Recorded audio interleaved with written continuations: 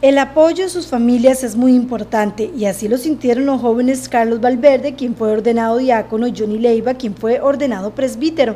La Eucaristía se llevó a cabo en la Catedral de San Isidro de El General, presidida por el obispo Monseñor Gabriel Enrique Montero. En esa celebración hubo una importante participación de los padres de ambos, quienes se mostraron muy complacidos por este paso que dan sus hijos.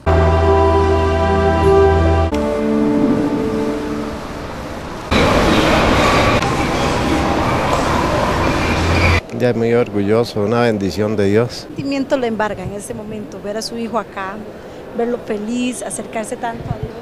Ya sí, ya hay mejor que esté feliz y todo, sí, hay una, una gran bendición de veras.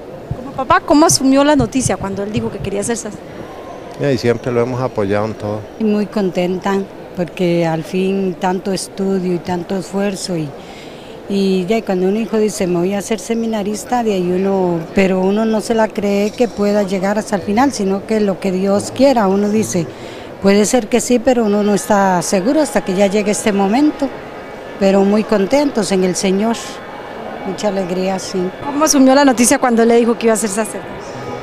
Ah, de ahí, muy contenta, pero también yo pensaba, de ahí, eso es mucho estudio y, y también pensaba, son pocos los que llegan, hay que, yo decía, hay que esperar y hacía mucha oración por él, yo decía, hay que esperar a ver qué quiere el Señor de él, porque uno, de ahí, la idea era que ojalá llegara a ser sacerdote, pero como de ahí muchos se quedan de camino, porque ese no es el camino, entonces, pero de gracias a Dios, de allá llegó a la meta.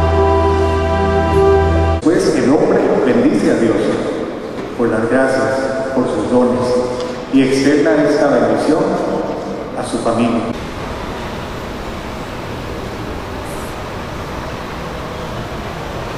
Mucha alegría.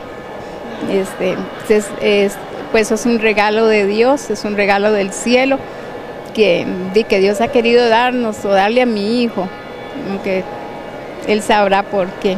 Yo solo sé que estoy aquí. Cuando él le dio la noticia de que iba a entrar al seminario, ¿cómo la recibió usted? Eh, con mucha alegría, porque como él siempre había estado, pero, pero yo creí que ya no iba a volver. Cuando me di cuenta que, que sí, nos dijo que iba, iba a ingresar de nuevo, entonces sí fue muchísima alegría. Me dio mucha alegría por él, porque yo le dije que él hiciera su vida, que ya nosotros habíamos hecho la de nosotros y él no tenía por qué estar a nuestro lado allí eh, por nosotros. Ya él quisiera su vida, yo tenía su edad y, eso me dio muchísima alegría que él decidiera su vida, que la hiciera. Siento algo de depresión por verdad y, tener mucha fe en Dios, eh, pedirles mucha fortaleza a, todos ellos, a, la, a, Monseñor, a, la, a, los padres, a los, eh, a los este, seminaristas, que Dios les dé mucha fuerza, mucha fortaleza y, y, que... ¿Cómo se siente que su hijo esté hoy aquí? Sí, un poquito, o un poquito bastante emocionado, sí, claro, que sí. No es fácil y, y ya le, le, como le repito, ah, eh, pedirle mucho a Dios y que la gente también le pida a Dios por la fortaleza de todos ellos. Cuando él le dijo... A, a mi hijo. Cuando él le dijo que iba a ser seminarista, ¿cómo tomó la noticia?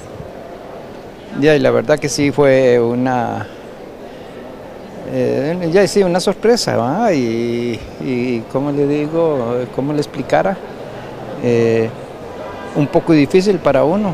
De esta manera, las familias de ambos jóvenes los apoyaron en estas celebraciones.